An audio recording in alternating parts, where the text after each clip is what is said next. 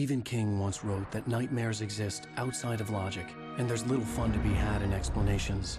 They're antithetical to the poetry of fear. In a horror story, the victim keeps asking why, but there can be no explanation, and there shouldn't be one. The unanswered mystery is what stays with us the longest, and it's what we'll remember in the end. My name is Alan Wake. I'm a writer.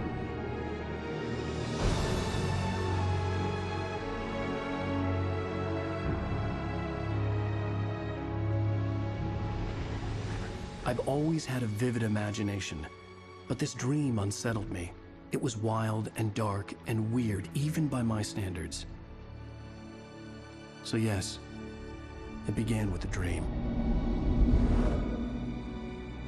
Following a typical nightmare pattern, I was late, desperately trying to reach my destination, a lighthouse. For some urgent reason, I couldn't remember. I'd been driving too fast down a coastal road to get there.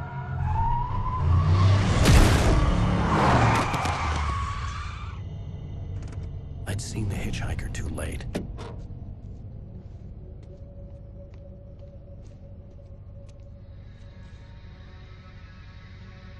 He was dead. I was convinced they'd put me in jail and I would never see Alice again.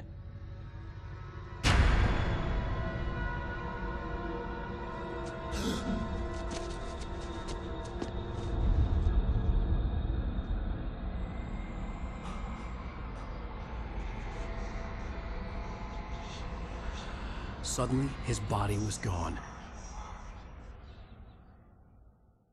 I was in shock from the crash. I could hardly stand my feet.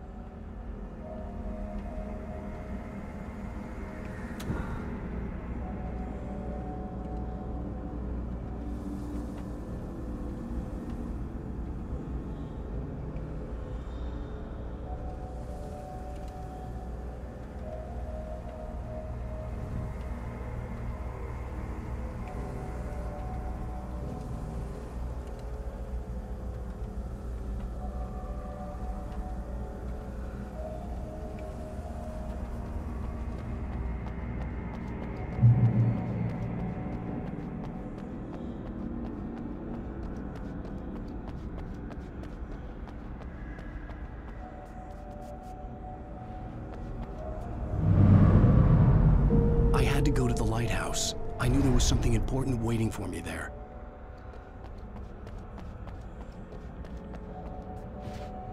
The bridge had collapsed. I'd have to find another way to the lighthouse.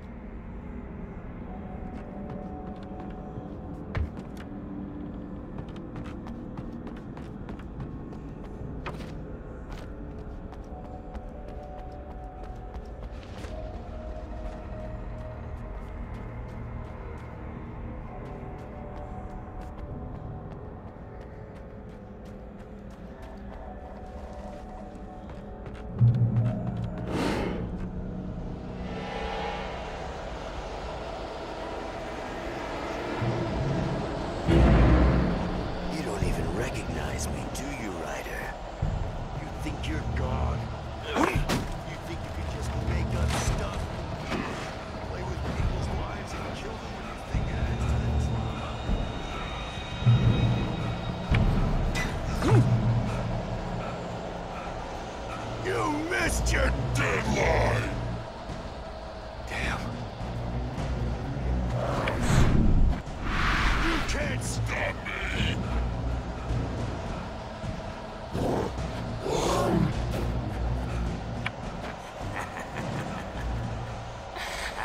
I realized that the hitchhiker was a character from the story I'd been working on. How does it to die by the hands of your own?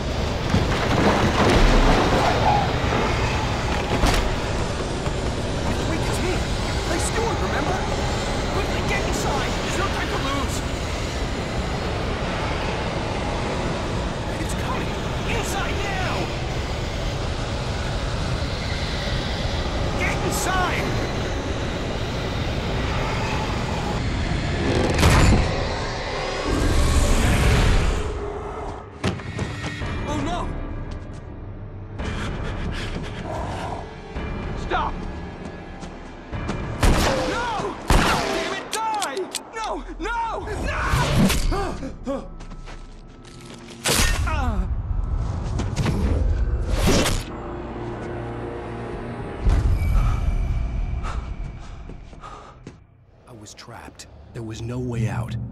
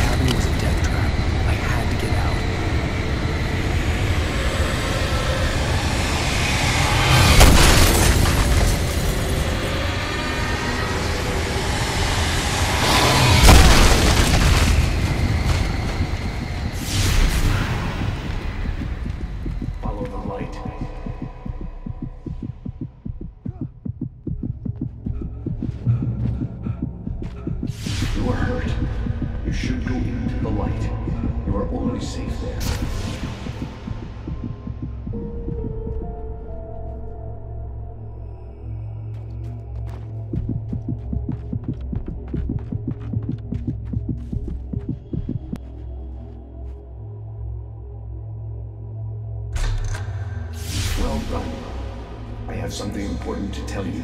It goes like this.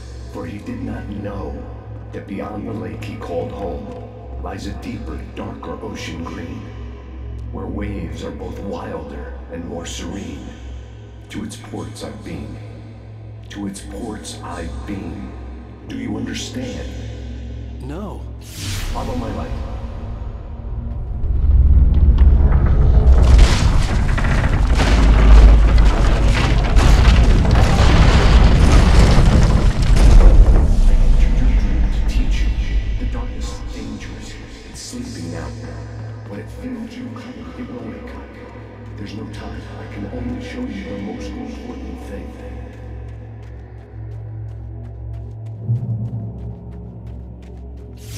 Hitchhiker has been taken over by the dark presence. You can't hurt him now. The darkness protects him from all harm. Only light can drive the darkness away and make him vulnerable again. Here, take the light.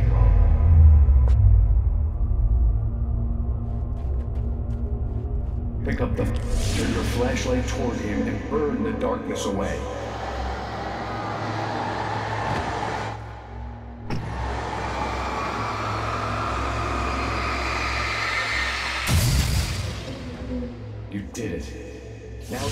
No longer protects him, but it's still inside, controlling him.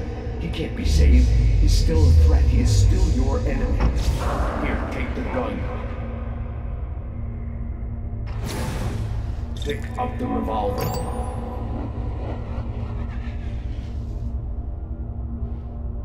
He is your enemy. You need to defend yourself.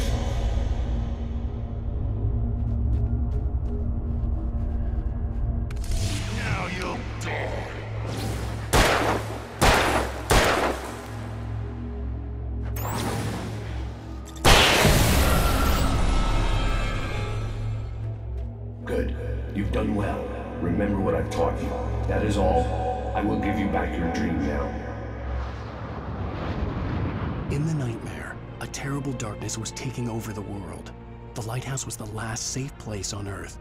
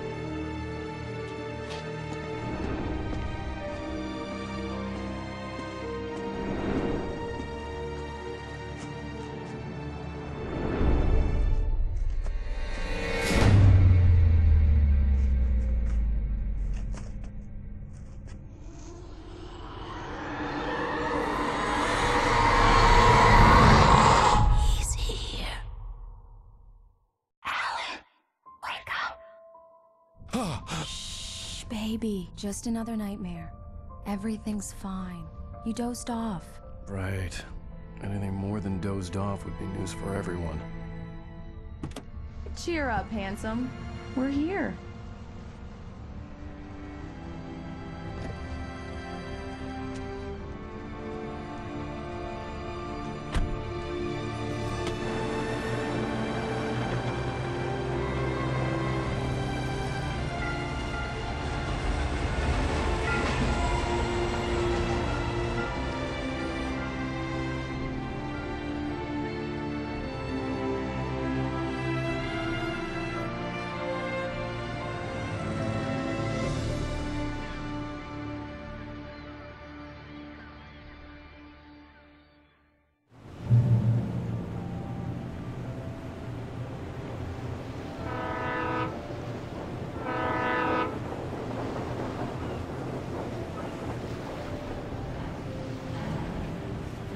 Let's act like we're on vacation.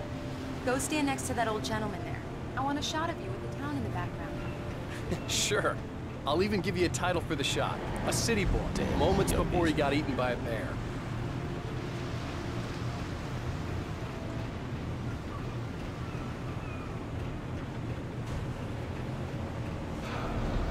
Hi.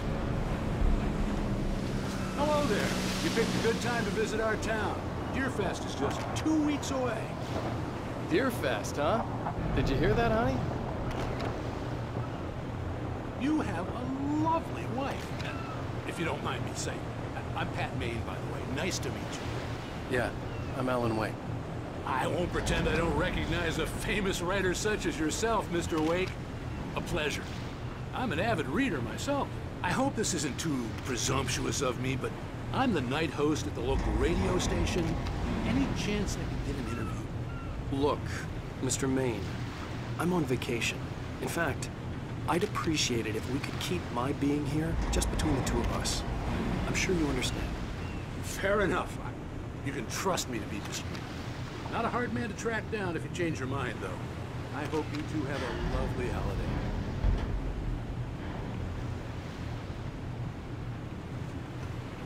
Very nice.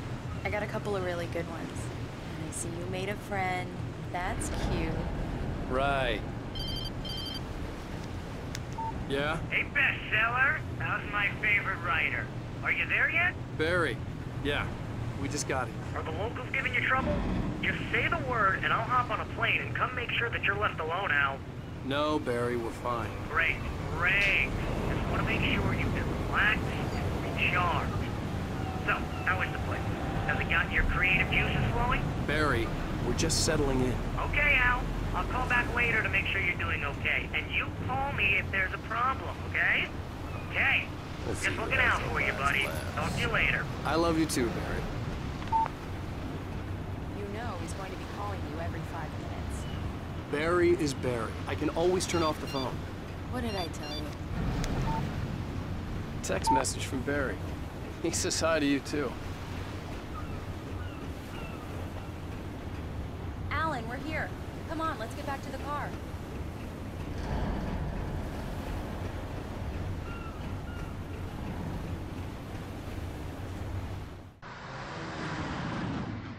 We need to stop at the local diner to get the cabin key from the landlord, a Mr. Carl Stuckey. He's waiting for us. I'll go fill her up while you get the key. I'll pick you up here in, say, 15 minutes. Sure. Alan, thank you for coming here with me. I love you too. Go on. I'll promise to behave.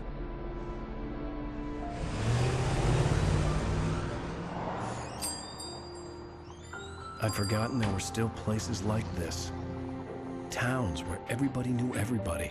Welcome to the Oh Deer Diner. Hi, I was wondering if you could help me. I'm looking for... Mr. Wake. Alan Wake. Oh, God! I am your biggest fan. I know people say that all the time, but I really am. I'm glad to hear that. Rose. Rose, I'm looking for Mr. Stuckey. Carl Stuckey? Carl? Of course, Mr. Wake. He must have gone to visit the restroom. He'll be back in a moment. I can't believe it. I've got all your books. I got the cutout from the bookstore when they took it out of the window. And you keep it here. Well, okay. Good for you.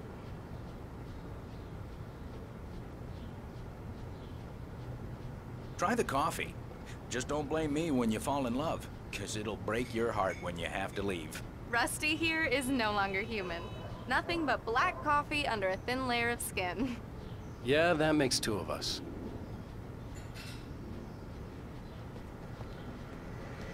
Are you staying long, Mr. Wake? I can't believe it. I'm having a conversation with Alan Wake.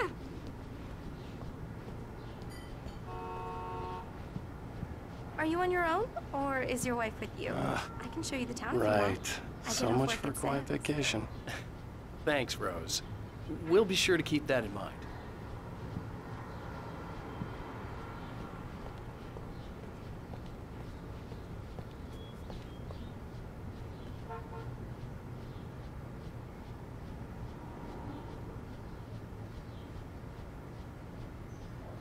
Do me a favor, Sonny.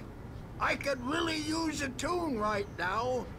Coconut, number six in the jukebox. I'd do it myself, but both of my legs have gone to sleep. Bad circulation. Yeah. Are you serious? Coconut again? You disgust me. Call yourself a rocker. Unbelievable. Ha! It does that. Get stuck. Yeah, you need to give it a good solid whack.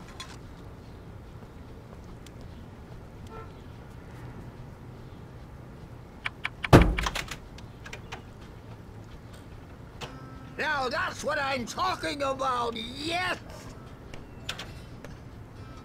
This is it. I've died and gone to hell. Don't go in there, young man. You can hurt yourself in the dark. I didn't want to wait. I wanted to find Stuckey, to get the key and get out as soon as possible. The waitress was giving me a headache. Overeager fans always did.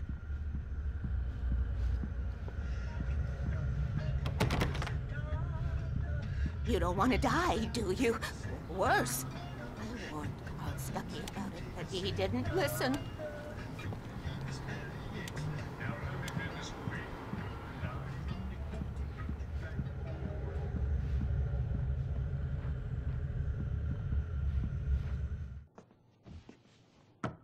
Hello?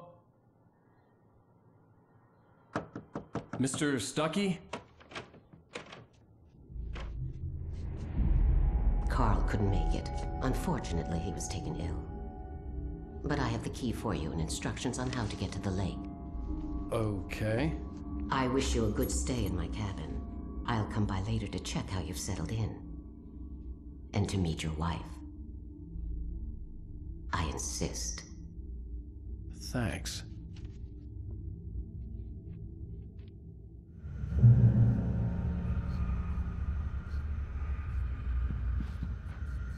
Cauldron Lake is a special place. Very inspiring.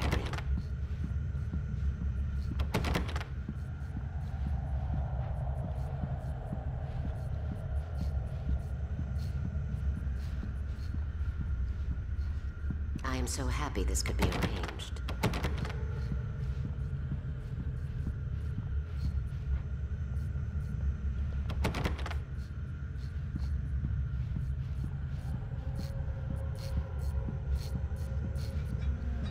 You got lucky this time, young man. You can hurt yourself in the dark. This really ought to be fixed, and then I must remind Sarah to change the light. Even that sounds better than your singing. Are you all right?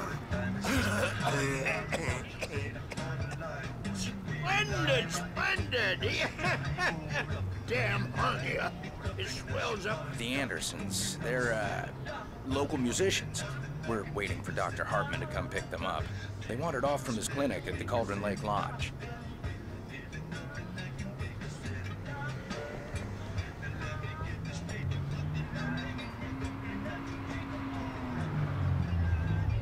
Bye, Mr. Wake. Mission accomplished. The key and the directions. My hero. I got some flashlights, just in case. Hey, wait! Mrs. Wake! Your... Your keys!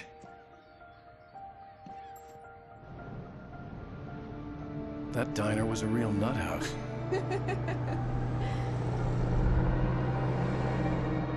Can you believe this place? This would make a wonderful setting for a book. We're supposed to be on vacation, Alice. I'll figure it out when we get back home. Okay? Okay. We can talk about this later. Pat here on KBFF. I didn't want to talk about it. I wanted to bury my head in sand. Here's another one of my favorites to go with it. Once upon a time, I was a successful writer, but that was a long time ago. I hadn't been able to write a word in two years, not since my last book. And now the weather. It's gonna be a clear night, so you folks in the big city might want to look up every once in a while. See those stars winking down at you? It gets pretty dark out here, but they'll light your way.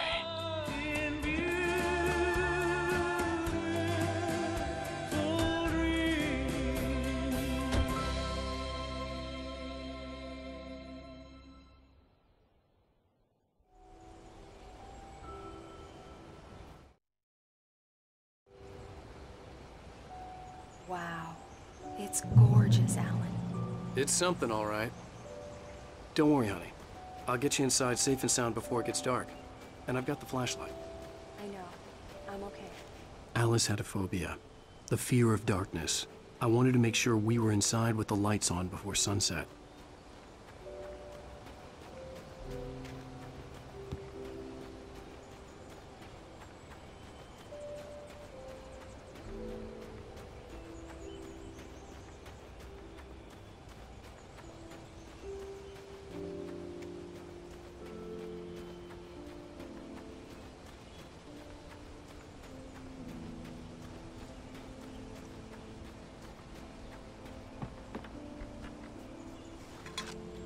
The cabin obviously got its name from the shape of the island. It looked like a giant bird leg. Alice had mentioned that the lake was a caldera. There was a dormant volcano under it.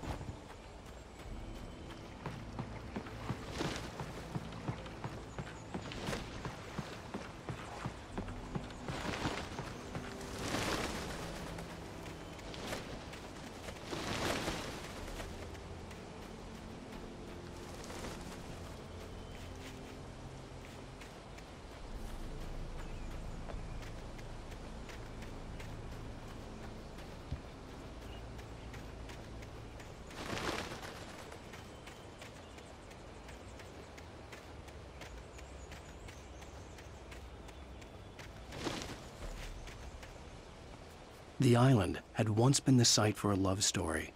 Maybe it would be that again.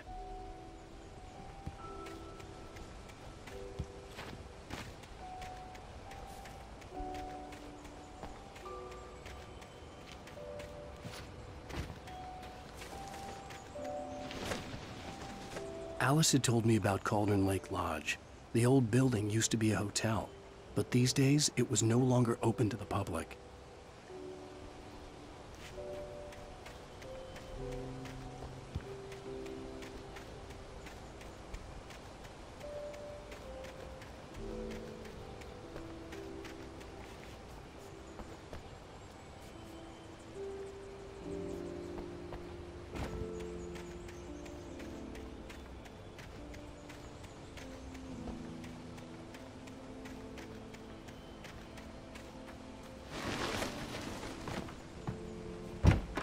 Old generator had been connected to the power cable.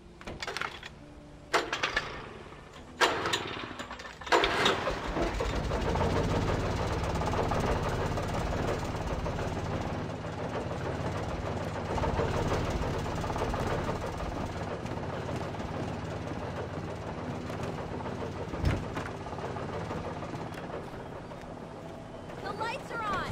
Good work, honey. I'll freshen up a bit and start settling in. Okay, I'll look around a bit. Sure thing! Have fun!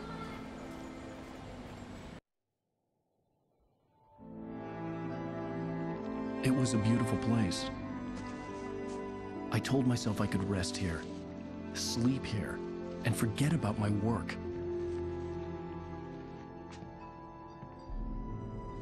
I thought we could be happy here,